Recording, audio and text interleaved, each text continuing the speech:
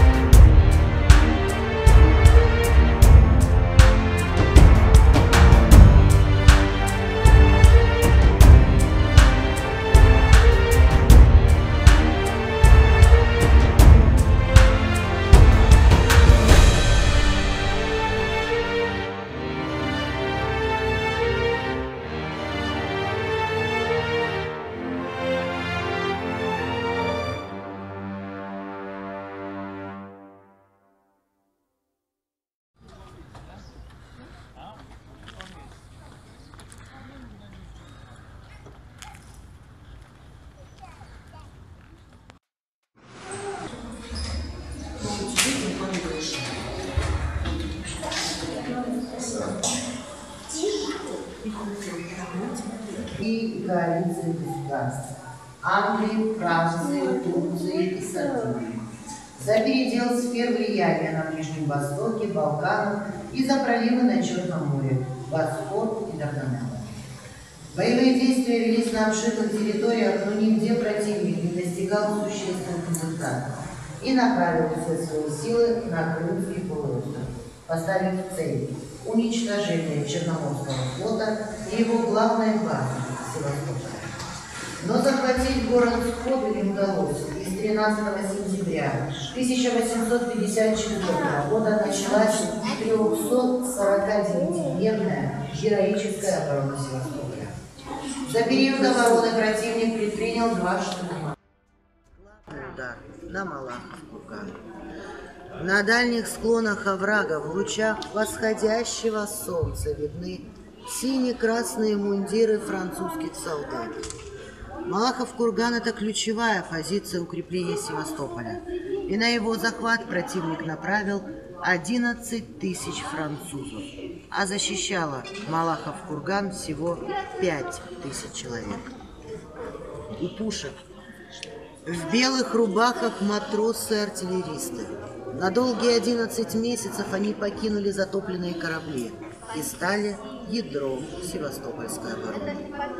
Но из 16 тысяч моряков, сошедших на берег, к концу обороны в живых осталось только 800 человек.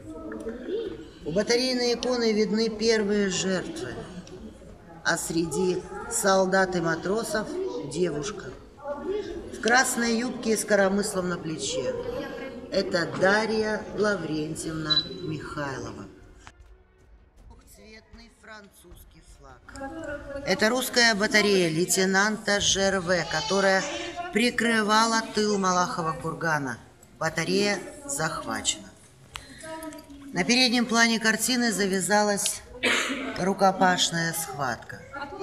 Еще немного, и враг прорвется на Малахов курган. Но вовремя спас ситуацию генерал Хрулев. Он изображен в центре рукопашной схватки.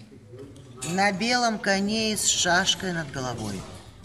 За собой в рукопашный бой он повел 138 солдат Севского полка. Время было выиграно, противник остановлен, но далось это тяжелой ценой.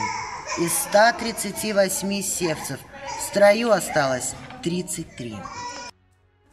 Если провести от них по небосклону линию влево у крайнего бруствера, положив две руки на корзины на фоне неба, вы увидите адмирала Павла Степановича Нахимова. Герой Новоринского и Синопского сражений, известный русский флотоводец, сойдя на берег, стал душой Севастополя. Матросы говорили, что пока Павел Степанович жив, Севастополь не сдадут. А слова адмирала о том, что он не покинет город ни живым, ни мертвым, стали для него пророческими. Павел Степанович Нахимов изображен на том самом месте, где спустя три недели после штурма был смертельно ранен.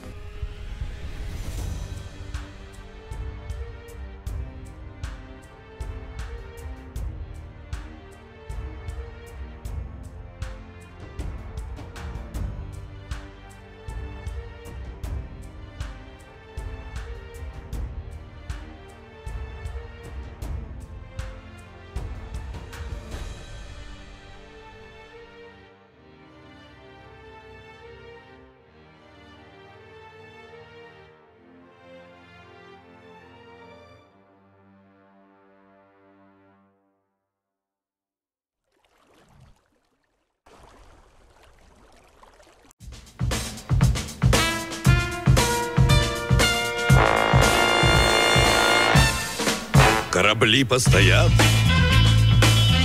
и ложатся на курс, но они возвращаются сквозь непогоду. Не пройдет и полгода,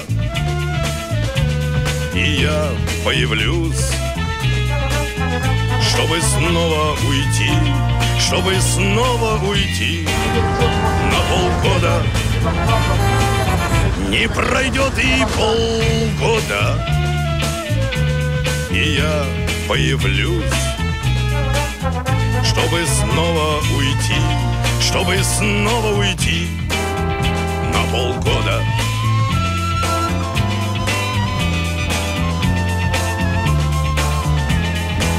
Возвращаются все, кроме лучших друзей, кроме самых любимых и преданных женщин. Возвращаются все, кроме тех, кто нужней. Я не верю судьбе, я не верю судьбе, а себе еще меньше. Возвращаются все, кроме тех, кто нужней. Я не верю судьбе, Я не верю судьбе, а себе еще меньше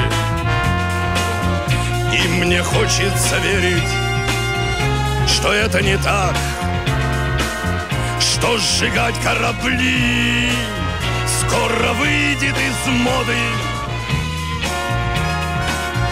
Я, конечно, вернусь Весь в друзьях и в мечтах Я, конечно, спою Я, конечно, спою Не пройдет и полгода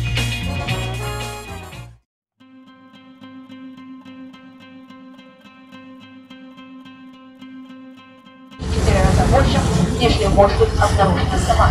Такие подводные лодки проекта «Варшавянка» получили на Западе название «Черная дыра» за бесшумность и исключительность скрытность.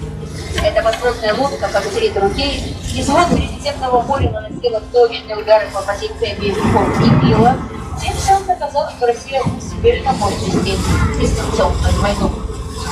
А вот это еще мир для своего времени корабли длиной корпуса до 170 Загрузка зерна. В настоящее время значительно увеличен, расширен, продолжен, эксплуатируются суда водоизмещением до